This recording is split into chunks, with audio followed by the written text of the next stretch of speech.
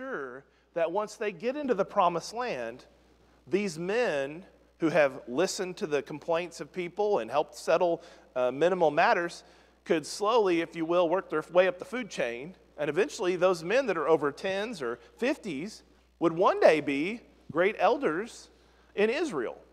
And so Jethro sees this vision of God's people needing leadership. He knows Moses isn't going to do it by himself. He can't do it, it's impossible.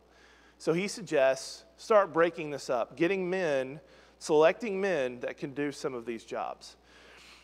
A lot of times when we talk about a New Testament church, we read 1 Timothy, we read Titus, which are great examples of leaders, men. We've talked about elders and deacons and ministers and so forth.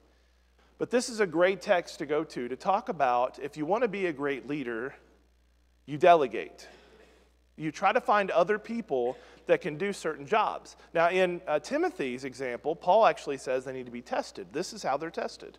Moses actually selected men and said, Hey, I'd like for you to lead in this area. And they did it. And from this point forward, even whenever they build the tabernacle, remember they replaced two guys in charge of building. That was their talent, their God given talent.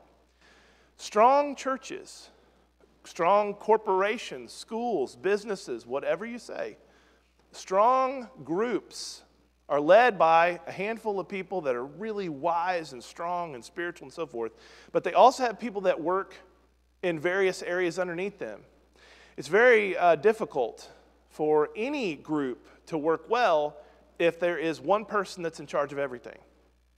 It's also very difficult to have the group that you're teaching or you're training to be micromanaged, you know, where you're just like, I'll put you in charge, but you better ask me before you do anything.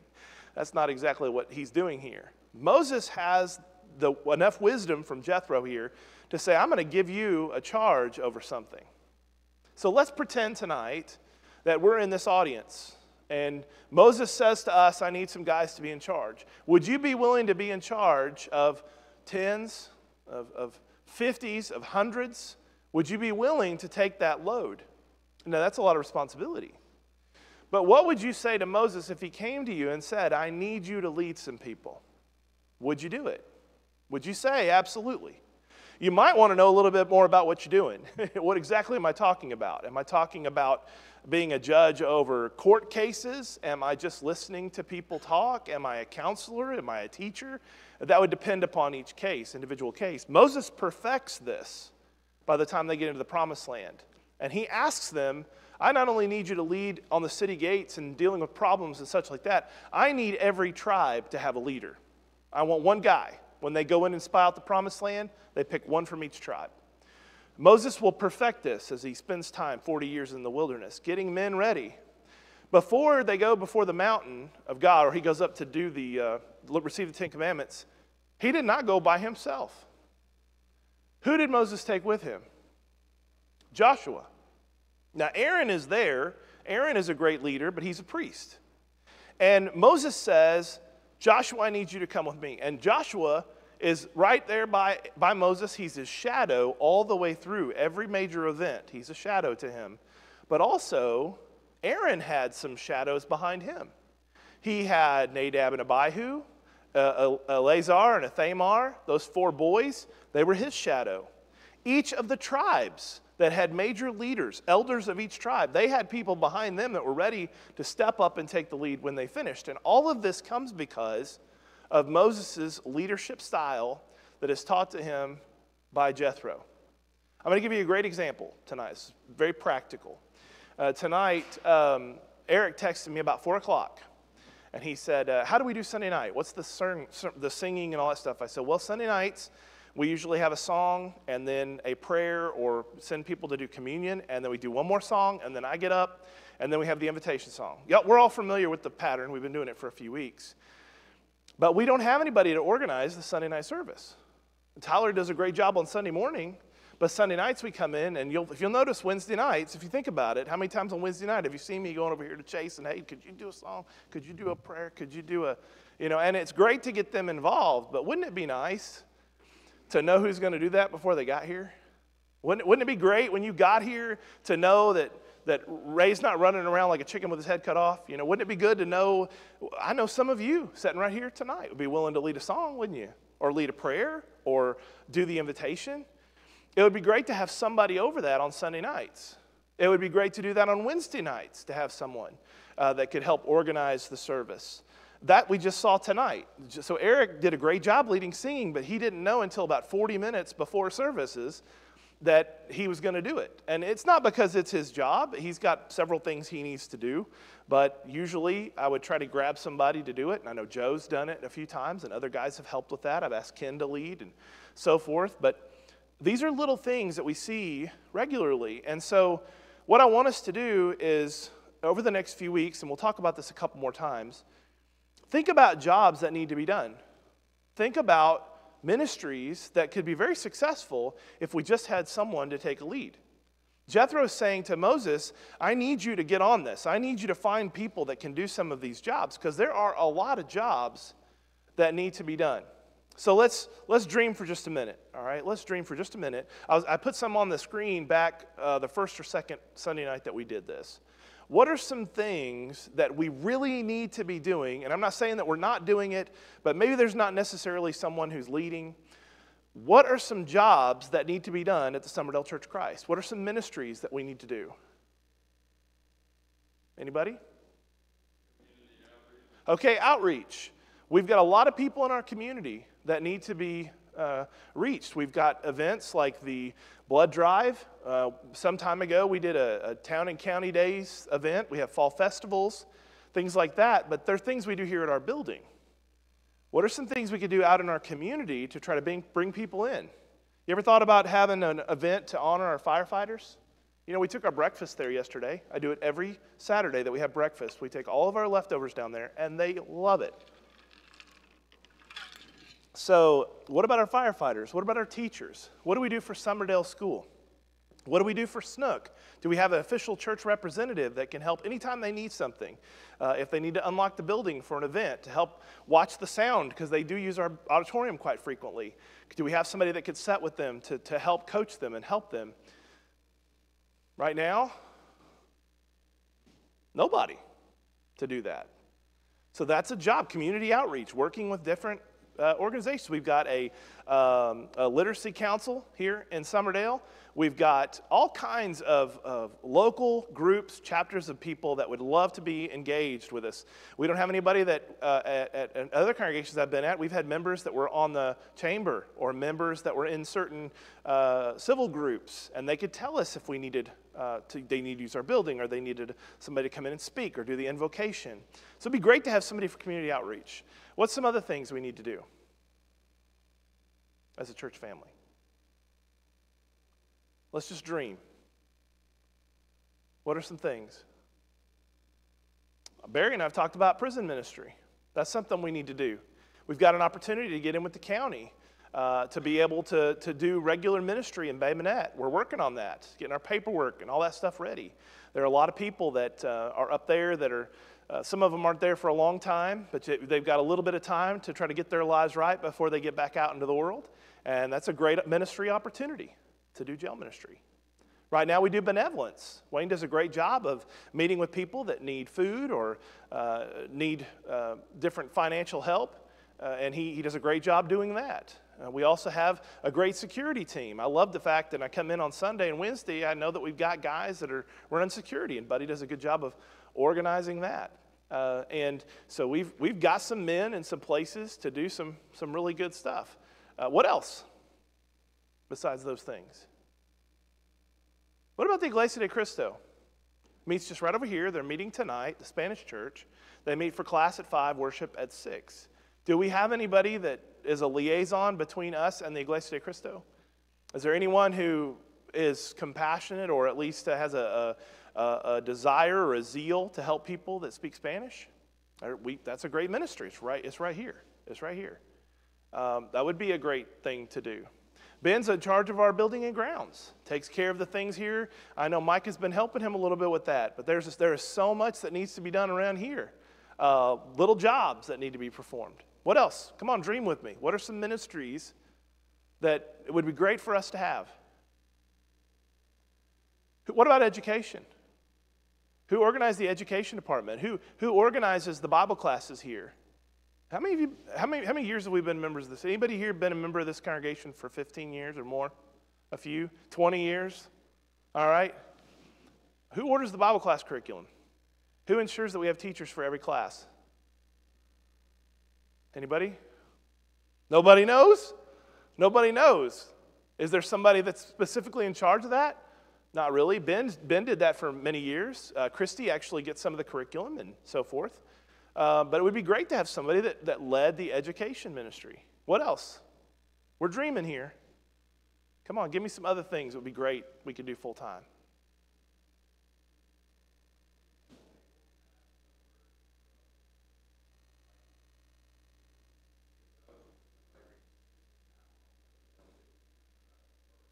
Yeah.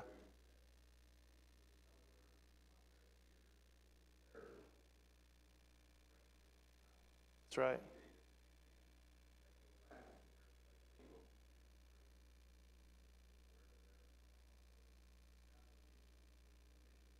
Mm-hmm. That's right.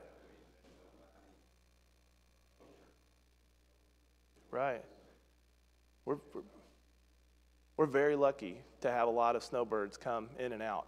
Wouldn't it be great if we could organize with our Golden Agers or rock and roller group to have, when they're here, have events, uh, make sure that their needs are met? Do we know where they're staying? You know, how, how would you like it if you went and stayed somewhere for two or three months and the church family said, hey, we know where you're staying up here at the RV park or down at the beach, and we will help you anything you need. Just call us. Uh, giving them, like, mission, like Mike said, it's a mission field where we can help these men and women from different places, and then they go back to their home congregation. What happens when they get ready to officially retire? They might move to Summerdale, Alabama, as a result of our, our encouragement of them. Full time mission. What about a visitation program? Who's in charge of the visitation? Who's in charge of uh, making sure that our widows and our widowers and um, older couples have the, the things that they need? Wouldn't it be nice to have somebody who could contact our widows and widowers every week or every couple weeks, make sure if they have some kind of a need uh, that is met. Wouldn't it be great if we could have some kind of a program that people that visit regularly could be visited or called or cards could be sent to them? Our ladies do a great job of that on Monday morning, but uh, sending cards to people. But wouldn't that be neat? Have you, anybody ever been a part of a church that had a visitation program?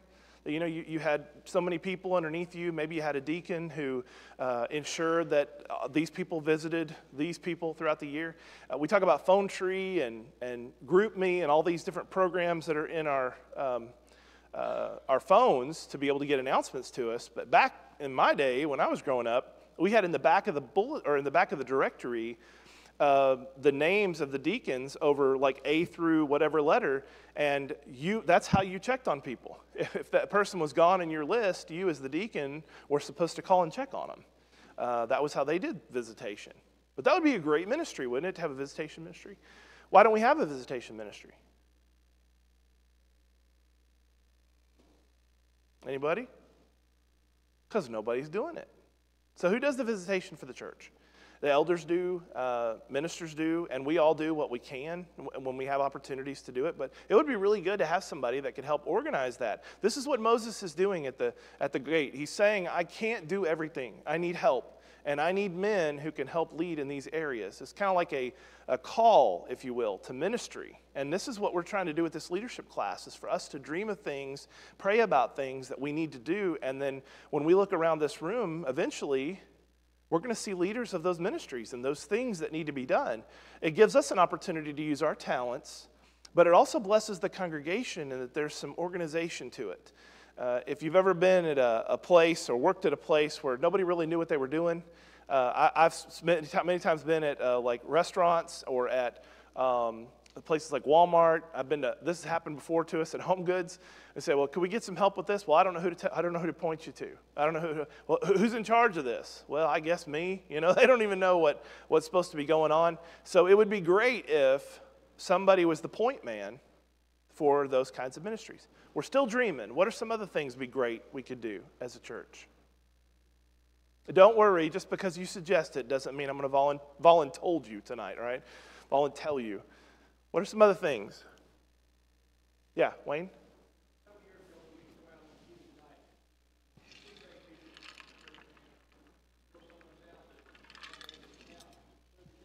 Yeah.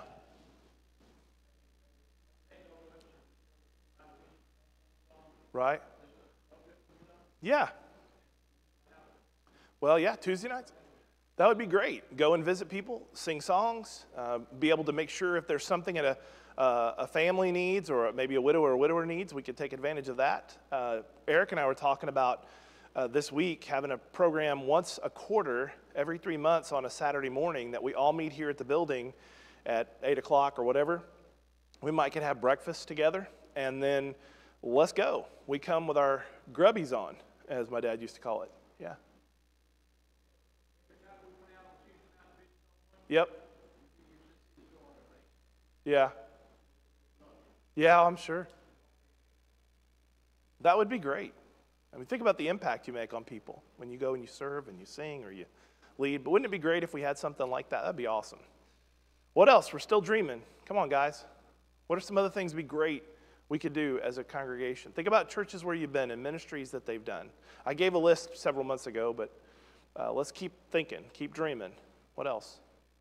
What are college age kids? You ever wonder about what happens when they get out of their home and go to college or they get a job? We've got some men in this congregation and women who have graduated high school. What do we do for our college age? Do we have any classes for our college age kids? Do we have any uh, events for our college age kids to kind of get them together? Uh, why don't we have that? There's nobody to lead it. Nobody has stepped forward to say, I think I'd like to do that. Um, widows and widowers, like I said, there's always groups, young children ministry or teen ministry. It'd be great to have men that would help Eric in those departments. Uh, what else? Come on, we're dreaming. What are some other things the church should be doing? Children's minister. Have someone in the congregation who's willing to organize the events for, say, pre K through fifth grade. There are all kinds of stuff that you can do with those little ones. you can take them to the fire department, you can take them to the zoo, you can take them to, if there's a rodeo coming in town, boy, those kids would love to go to the rodeo. Stuff like that, little, little activities for the children. Having devotionals. Why is it we do devotionals with the teens, but we don't do devotionals, with the little kids? They would love that too. Uh, one thing we did at a congregation, when school let out, you know, there's always a lock in for the teenagers. Yay, school's out. Uh, we did it one year. The little kids said, We want to lock in. We're like, eh, I don't really want to. I have a hard enough time keeping up with 15, 16 year old boys, but here we got these little kids that said, I don't know about that. And so our youth minister just thought outside the box. And he said, Here's what we're going to do. we're going to we're gonna do it. We're going to do a lock in, but your parents are, are able to stay, and I'm going to ask the teens to stay too. And what we did was we set up little tents inside the fellowship hall. And so you had your little tent area where you could go in, and we played a movie on the, on the wall, and we woke them up with breakfast and uh, pancakes and all this stuff. That was my job was to make breakfast the next morning. But we had lights dimmed but not off, and the kids sat around and played and had a great time. And then we had a moment where we said, okay, we're going to lay down for just a little bit. If you want to sleep, you can sleep. If you don't, that's okay. But we're going to dim the lights and have a little rest. And so all of us spread around that whole fellowship hall. And if you ask kids that are, you know, 15, 16, 17 years old now, what, what did they remember the most about their youth ministry? They'll say sleeping in the fellowship hall that night with in tents and sleeping bags. Uh, but all the kids, all the little ones were together. But there are things like that we could do for the little kids. What else? We're dreaming here. What are some other things we could do? Anybody? Yeah.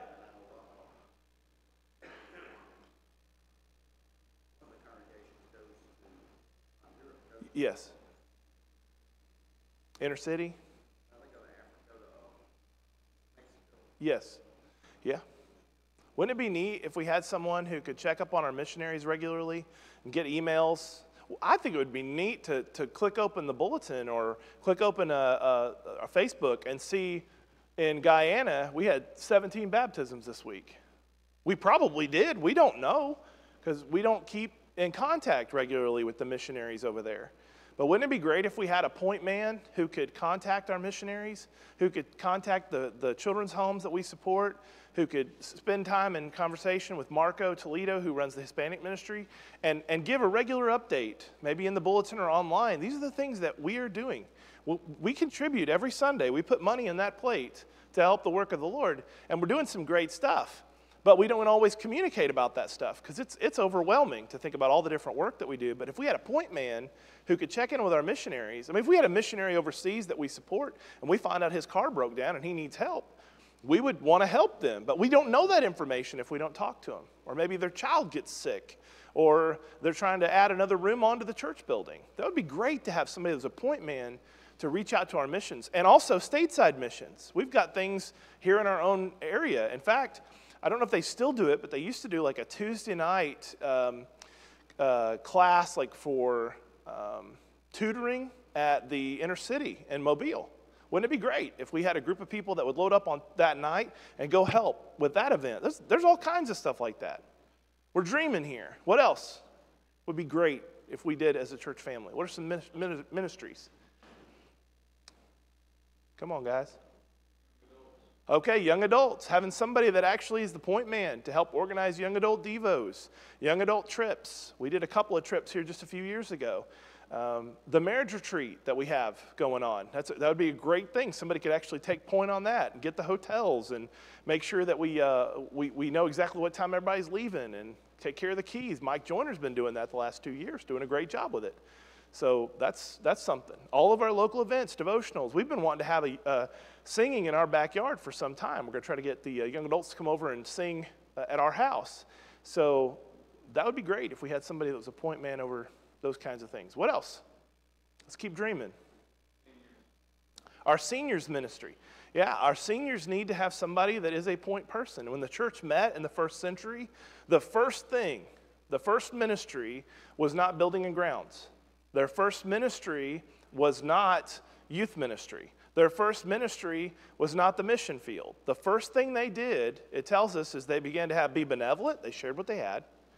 And in chapter 6, they said, We've got some widows that are being overlooked. The first men that were chosen to lead were men that could care for the widows.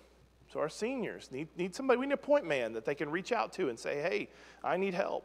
And you can have a whole list of people that can help with, you know, whether it's lawn care or electrical work or some of those things. We probably have men in the church that could do some of that stuff. It'd be great to have an organizer that could reach out to those uh, in that ministry. What else?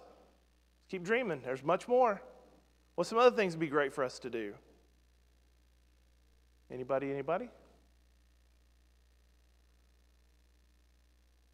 I mentioned the Wednesday night Devos, uh, the Sunday night services. Be great to have an organizer for those kinds of things, right? What else? Think about places where you've been. Think about ministries that they've done. We don't have a church van right now. Who's in charge of transportation? Making sure the van has gas and making sure that the van has uh, good windshield wipers and that our kids are going to be safe. When we get that van, who's in charge of transportation? Wouldn't it be great to have a point man that could help make sure that the van is taken care of? Wouldn't that be great? Yep. Those are, those are little things. Uh, we talk about building and grounds, but wouldn't it be great if we had someone that was in charge of a work day that we could come up here and do certain things, take a list from the teachers, what we need, be a liaison to the elders and say, here's some things we'd like to do on the second Saturday in August is we're all going to come up here and we're going to do certain things around the building. There's painting that needs to be done. Uh, there's stuff that needs to be done over in the fellowship hall. There's stuff that needs to be done in the youth room. Uh, little things. It'd be great if we had somebody that's a point man to do all that. Now, it gets overwhelming we go through all this list, doesn't it? Because we're sitting here going, man, that's a lot of jobs. Yeah, but I'm looking at a lot of men, too. I'm looking at a lot of faces of people that could help in these uh, key areas. And the important thing is when we organize the work of the Lord, it does not have to be a, a deacon or an elder or a minister. All of us are supposed to use our talents. So we don't have to have the title to do great work. But we do need to be focused on what we can do. What can I do? If I wanted to be, if I had to have a job tonight, what would it be? What would I feel most passionate about? What would I be the most excited about? Uh, and then I take that and I, I do something with it. There are some men who are good at finances. Who, what about balancing the budget for the church? What about setting a, a yearly budget? Is there someone who could help take care of that? Um, that's another job. So, again, uh, hundreds of things we could list tonight of jobs that would be great to have, but it takes men to lead. And so, what does Jethro say to Moses? Find some men, appoint them, and let them serve. And that's what we really want to do here is we, we, we love to dream, we love to have visions of all kinds of ideas, and I presented some of those to you. But what we really need to do is tonight, we need to pray as Jesus asked his disciples to in John 4 that the fields are white to harvest, and we need to pray that God will empower some men to tend the fields. to reap the harvest. That's, that's our primary goal as a child of God is to serve him to the uttermost.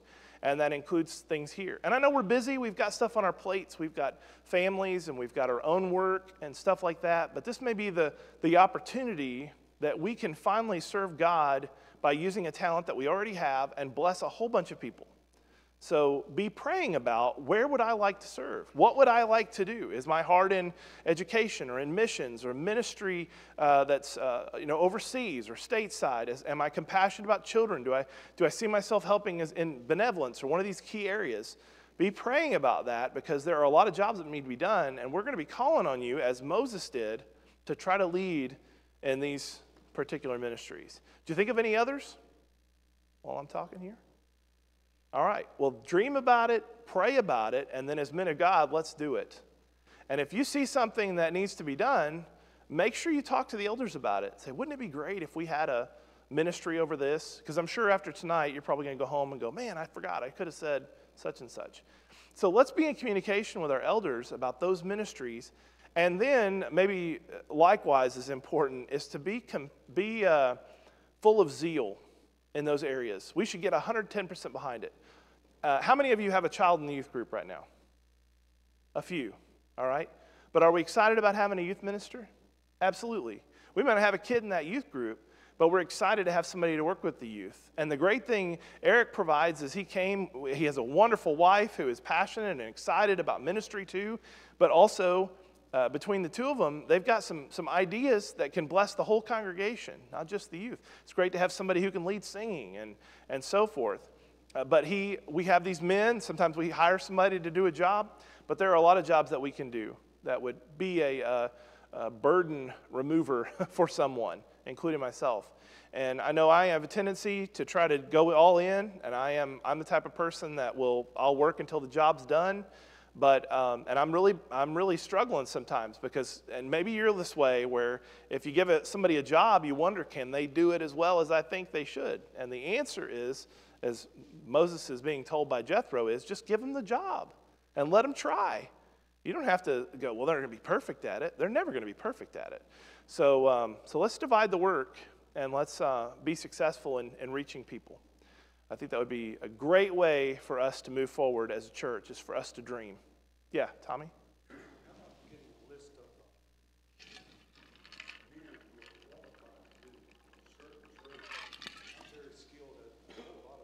Yeah. Yeah. Yeah. Right. Right. Yeah. Absolutely. Absolutely. That'd be great. I think it'd be great to have that in the directory, uh, is to have our jobs, the things that we do. If somebody is a, a, teacher, an educator, and you've got a kid that's struggling in math, maybe they're not a math tutor, but you could go to that teacher and say, hey, do you have somebody that you know that can help tutor my child in math? So, having a group of people, men with certain talents. I'm not great with a lot of things, but there are some things I'm fairly good at, you know, master of none, but jack of all trades. And we had uh, one of our sisters here this morning that as she was leaving, she said, My husband and I are about to move to Robertsdale, and we need help moving. Do y'all have help with that? And we said, We do it all the time. Now, I'm not as young and spry as I used to be. I'm in my mid to late 40s now. But there are several people who have helped in, in, in, those. Wouldn't it be great if we had an organizer, a man who could we could turn to and say, hey, look, somebody needs this moved. Could you put together a crew of guys to help with that? Maybe even have a trailer. I've been at churches before that had uh, a list of men, or we actually bought one at Gulf Shores to use, but if uh, we had men with trailers and say, hey, could you have a pickup? you know, could you help somebody on this Saturday? That'd be really neat. Now, we can't do it for everyone, or we'd be moving 24, it'd be, you know, two guys in a truck, but here we are. We have members that need things done. We're going to have widows that need to go to the nursing home and have their stuff put into storage. Those kinds of things. Wouldn't it be great if we had somebody that could do that? That would be wonderful. But yeah, it would be awesome if we could have a whole list of all of our jobs, the things that we're passionate about, things that we're uh, excited to do or talented to do, and then we can be called upon in those moments. That'd be great. All right. Well, that's just to kind of open our mind tonight. Uh, let's pray and then we'll, we'll be dismissed. Father God, we praise you. We thank you for the blessings that you've given us. We thank you for your holy word that inspires and encourages us. We thank you for leadership, like from men like Moses, who listens to the wisdom of his father in law, Jethro. And Father, we pray that you'll help us as a congregation to be ready to accept authority when it is delegated to us and be willing to move forward in a way that is positive for the whole church to grow. We pray that you will put within our hearts a desire to serve and that you will put within the congregation a, a passion and a desire to get behind our leaders. We thank you for these men in this room. I thank you for the work that they're doing already and for their presence and for their faithfulness, their attendance. And I thank you for what they're doing in their families as they're leading them as you would want us to lead. Pray, Father, you'll bless this church family, bless our elders, uh, bless our deacons, our teachers, uh, and each of us as we find a way to serve you. In Jesus' name we pray. Amen. All right. Thank y'all for being here. Yes.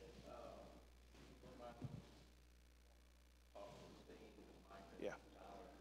Yeah, Steve, Mike, and Tyler. If you'll meet with the elders just a minute back here.